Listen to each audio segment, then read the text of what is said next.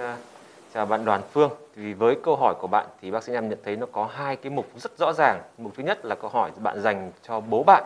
Đó là muốn mổ ung thư dạ dày thì theo những phương pháp nào? Còn phần thứ hai đó là bạn hỏi cho chính bản thân bạn hoặc là cho người nhà trong gia đình của mình.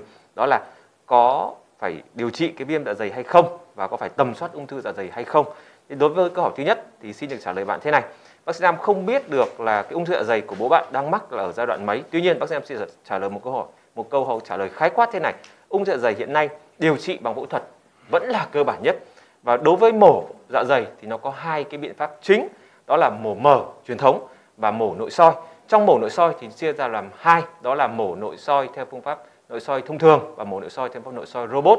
Thế thì hiện tại bệnh viện ca thì tất cả các cái biện pháp là mổ mở hay mổ nội soi, thậm chí mổ nội soi robot thì đang được triển khai một cách đồng bộ và tuần tự. À, bạn có thể yên tâm là nếu như được thăm khám và điều trị tại bệnh viện ca thì cái việc à, phẫu thuật của chúng tôi luôn luôn đặt cái mục tiêu là điều trị tốt nhất cho bệnh nhân lên trên hết.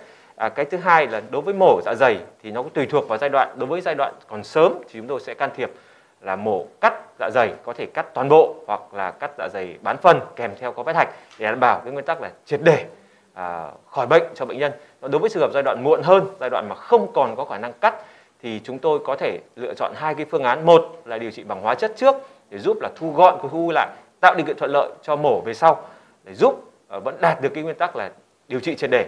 Thế còn một trường hợp nữa không may đó là điều trị ở giai đoạn nó quá muộn, không còn có khả năng phẫu thuật hay là bất kỳ biện pháp gì khác nữa rồi thì chúng tôi có thể có biện pháp là mổ để nối tắt để giúp bệnh nhân có thể ăn được. Vì như bạn đã biết là cái đường tiêu hóa đó nếu một khi mà nó bị tắc thì bệnh nhân sẽ không ăn được chúng ta sẽ phải mổ làm một cái đường thoát tắt cho cái thức ăn dịch tiêu hóa nó đi qua cái nơi mà có u. Hoặc là một cái biện pháp nữa đó là gì? Mở thông để giúp bệnh nhân có thể là đảm bảo về mặt dinh dưỡng. Đấy là cái câu trả lời của bác sĩ Nam về cái mục đầu tiên của mình đó là mổ dạ dày. Có những phương pháp nào? Cái câu hỏi thứ hai là tiền sử trong gia đình của mình bị viêm dạ dày. Thì câu hỏi là vậy viêm dạ dày có cách điều trị nào để chữa khỏi không? Xin trả lời là có bởi vì viêm dạ dày à, theo thời gian tiến triển thì nó có thể hình thành nên các cái tổn thương mạn tính sau dần rồi thành các cái tổn thương loạn sản và dị sản đấy lại là một trong những yếu tố nguy cơ đối với ung thư dạ dày.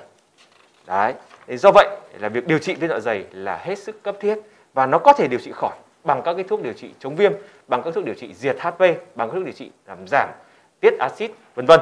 Và nếu bạn muốn được uh, có một cái ờ, cái phác đồ có một cái đơn thuốc chuẩn thì bạn nên đến các cái chuyên khoa về tiêu hóa chuyên khoa về dạ dày chuyên khoa về u biếu để các bác sĩ ở đó sẽ giúp cho bạn có cho bạn một cái đơn thuốc điều trị để khả quan nhất. Một câu hỏi nữa một phần nữa đó là có cần phải tầm soát ung thư hay không? Thì bác sĩ nam nghĩ là đối với người trong gia đình mình thì là một trong đối tượng nguy cơ. Vì sao? Vì bây giờ bố của mình bị mắc ung thư và tiền sử mình lại viêm dạ dày lâu năm như thế này thì nguy cơ hiện hữu lên uh, những thành viên trong gia đình của mình là khá nhiều bởi vậy bác sĩ Nam khuyến cáo là mình nên đưa những thành viên trong gia đình của mình, đặc biệt là đối với những cái người mà có độ tuổi tầm từ 35 40 tuổi trở lên, nên đi khám tầm soát ung thư dạ dày. Vâng xin cảm ơn.